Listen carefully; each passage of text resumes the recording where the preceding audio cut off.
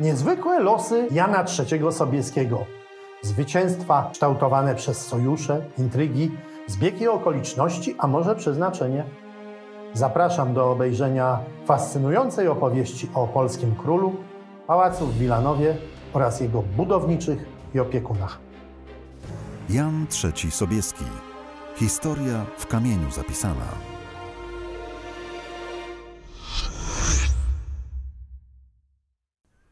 Piorun Chocimski. Mimo klęsk wojennych roku 1672, utraty dwóch województw i niszczycielskiego najazdu tatarskiego, król Michał Korybut nadal prowadził krótkowzroczną politykę, ignorując zwycięskiego hetmana Jana Sobieskiego i darząc go nietajoną antypatią. Haniebny traktat buczacki, wyżebrany przez króla, degradował Rzeczpospolitą do roli wasala Turcji osmańskiej. Nieoczekiwana śmierć prymasa Prażmowskiego spowodowała, że Sobieski stanął na czele stronnictwa antykrólewskiego. Rozsierdzony kapitulancką postawą polskiego władcy hetman wykorzystał bojowe nastroje podczas Sejmu następnego roku, gdy płomienną oracją nakłonił brać szlachecką do nieuznania nikczemnego traktatu oraz powołania licznej armii. Zmiana polityki polskiej zaostrzyła konflikt z Turcją, uważającą upadek Rzeczpospolitej za przesądzoną sprawę. Sułtan turecki wysłał na Lwów nową armię, licząc, że zwycięstwo nasyci jego żądza odwetu za niedokończoną kampanię roku 1672. Mehmed IV osobiście przekazał chorągiew proroka steranemu i choremu na alkoholizm wielkiemu wezerowi i powrócił do Stambułu. Ten zaś zdał dowództwo Husejnowi Baszy, Beylerbejowi Sylistryjskiemu i Seraskierowi Jas w Mołdawii. Osmanowie wyruszyli na Polskę. Marszowi wojsk tureckich i wasalnych towarzyszyły niesubordynacje, dezercje, grabieże i rozboje. Hetman Jan Sobieski na czele 30-tysięcznych wojsk podążał pod zamek Chocim. Stanęła tam bowiem spóźniona, potężna armia Husajna Baszy, zamknięta w warownym obozie, oczekująca na Tatarów. Historia w kamieniu zapisana. Po przybyciu armii pod obóz turecki, wojsko polskie ustawiło się na prawym skrzydle, a litewskie wedle dawnego obyczaju lewym. Pan Hetman z lawety armatnej studiował dokładnie perspektywą olbrzymi turecki okop. Wtem od strony Turków przybył gospodar mołdawski Grzegorz Gika i... i poddał się Sobieskiemu. O, pan Hetman, nie okazując wcale zdumienia, przystał na to.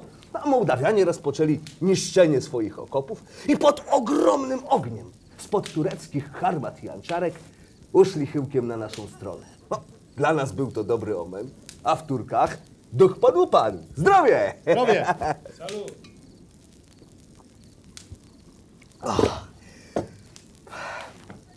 Ostrzał z harmat rozpoczęli przed północą.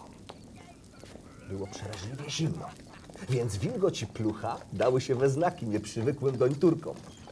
Jednocześnie nasza artyleria biła noc całą ogniem siarczystą w obóz osmański, zmuszając owe niecnoty do ciągłej gotowości. Pan Hetman, przechadzając się między regimentami, a wiedząc, że Turcy nie miarkują stoczyć otwartej bitwy, no, w czym upatrywał zwycięstwa, wczesnym rankiem, w zamieć straszliwą 11 listopada, napadł na przerzedzone zimnem oddziały tureckie. Pan Hetman osobiście biegł na czele, zagrzewając do boju otoczony dragonami francuskimi. Wczesna zima i straszny ziąb dosłownie sparaliżowały Turków. A gwardziści? Gwardziści wyrąbali berdyszami stopnie w zamarzniętym okopie, który szybko zdobyli. Ah, nigdy żołnierstwo nie walczyło z taką, z taką brawurą, jak ci dragoni królewscy. No, ale mieli oni przykład, który dał im pan Sobieski. Turcy, Turcy próbowali kontratakować, ale właśnie wtedy wojewoda ruski pan Stanisław Jabłonowski obszedł z jazdą obóz i wpadł doń od strony porzuconych szańców mołdawskich. O, rozpoczęła się ciężka bitwa w obozie, której towarzyszyły salwy muszkietowe. Pan hetman wezwał Oberstera, barona de Beal i rozkazał zebrać trzy regimenty dragonów, udać się nad rzekę i nikogo nie wpuszczać na most. Bitwa coraz cięższą była. Wydawało się już nawet, że Osmanie nas przemogą. Ale właśnie wtedy, właśnie wtedy genialne uderzenie z lewego skrzydła jazdy hetmanów litewskich, wielkiego Michała Kazimierza Paca i polnego Michała Radziwiła, przesądziły o losie bitwy. Turcy, widząc Litwinów, zaczęli pierzchać, co dosłownie dopełniło ich nieszczęścia.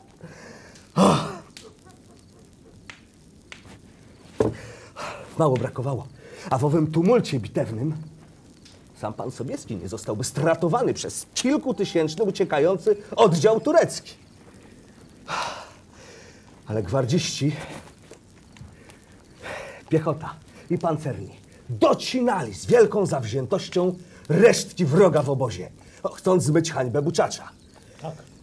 Niedobitki armii osmańskiej uciekały co prawda w stronę Mołdawii, ale były zawzięcie gonione przez lekkie chorągwie Anatazego Miałczyńskiego i Romana Ruszczyca.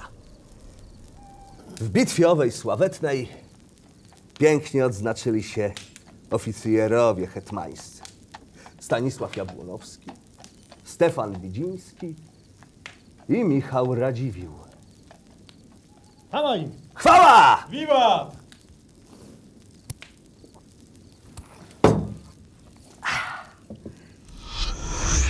Pułkownik de Béan, dowódca francuskiej Gwardii Królewskiej, bojąc się, by napór Turków i Multanów nie przełamał karnych szeregów dragoni, rozkazał zerwać most, otwierając dlań drogę osmańskim uciekinierom. Ci zaś, myśląc, że most jest bezpieczny, wpadli nań z impetem, chcąc zbiec na multańską stronę. Niestety, pozbawiony lin most zawalił się do Dniestru pod ciężarem ludzi i koni. Multum Turków utonęło zaś w Dniestrze, więc większość armii tureckiej zniszczyła sama siebie topiąc i spadając ze skały nad rzeką. Polacy zdobyli obóz chocimski. W ręce hetmana wpadł cały bagaż turecki z bogatymi namiotami i sztandarami oraz 76 armat. Z pogromu ocalało niewielu Turków. Seraskier Hussein Pasza, ciężko ranny w głowę, uszedł z życiem po to tylko, by wkrótce umrzeć. Polacy stracili mniej niż 2000 żołnierza. W zdobytym obozie wojsko odśpiewało uroczyste Te Deum.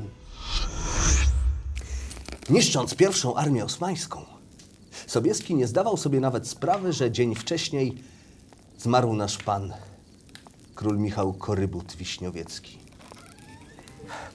Zdawało się zatem, że sam Bóg sprzyja hetmanowi i marszałkowi, torując mu drogę do najwyższej godności królewskiej no i naznaczając jednocześnie na wykonawcę ostatniej woli Michała Korybuta. Wiktoria Chocimska rozpoczęła batalię o tron Polski. Popularna Gazette de France, opisując zwycięstwo marszałka wielkiego koronnego Jana Sobieskiego, napisała wprost, że stał się on godny tronu, który uratował. Zebrana na polu elekcyjnym szlachta zdawała się również czuć, że Polsce potrzebny jest król wojownik. I okrzyknęła Sobieskiego królem. Na pamiątkę zwycięstwa, które przyniosło Janowi Sobieskiemu koronę, już jako władca postanowił upamiętnić bohaterów tej bitwy na elewacji Pałacu Wilanowskiego. Dzięki temu budynek został ozdobiony bardzo bogatym wystrojem rzeźbiarskim, tworzonym przez licznych artystów i kamieniarzy sprowadzonych przez Sobieskiego z Gdańska.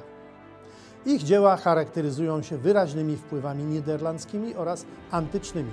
Płaskorzeźby wilanowskie, tworzone pod koniec XVII wieku na wzór rzymskiej kolumny Trajana czy cezariańskich łuków triumfalnych, posiadały specyficzne proporcje umożliwiające ich doskonałą percepcję przez widownie obserwujące je z poziomu ziemi, także przy sztucznym, ruchomym oświetleniu nocą. Schwaner i Schlüter tworzyli również rzeźby na innych pałacach warszawskich. W związku z fatalnym stanem tych kompozycji rzeźbiarskich dyrektor Muzeum Pałacu w Wilanowie pani Teresa Perkowska podjęła wiosną 1993 roku decyzję o rozpoczęciu prac konserwatorskich. Zespołem dyplomowanych artystów i konserwatorów kierował Piotr Andrzej Mądroch. W skład grupy specjalistów weszli Jolanta Pawlak, Zenon Sądecki, Piotr Zambrzycki i Jerzy Zebrowski. Działania konserwatorskie rozpoczęto od gruntownej kwerendy historycznej rzeźb oraz szczegółowych badań ich stanu technicznego. Wykonano badania materiałowe wapienia, chemiczne zanieczyszczeń oraz mikrobiologiczne. Ponadto zebrano bogatą dokumentację fotograficzną i filmową w technice wideo. Przeprowadzono głęboką kwerendę dotyczącą płaskorzeźb, archiwalną i konserwatorską z lat 20., 50. i 70. Z badań wynikało, że uszkodzone z upływem czasu i na wskutek warunków meteorologicznych reliefy naprawiano doraźnie i niedbale, co wpływało na zatarcie i utratę pierwotnego charakteru tych unikatowych zabytków. Wypadało więc przywrócić płaskorzeźbom wilanowskim ich pierwotną naturę.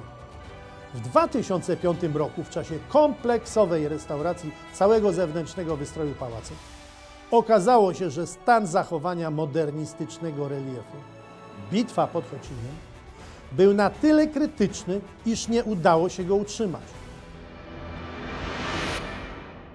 Zrekonstruowano go według starych fotografii pierwotnego oryginału. W dawnym kształcie metodą narzutu w odpornej na warunki atmosferyczne zaprawie mineralnej.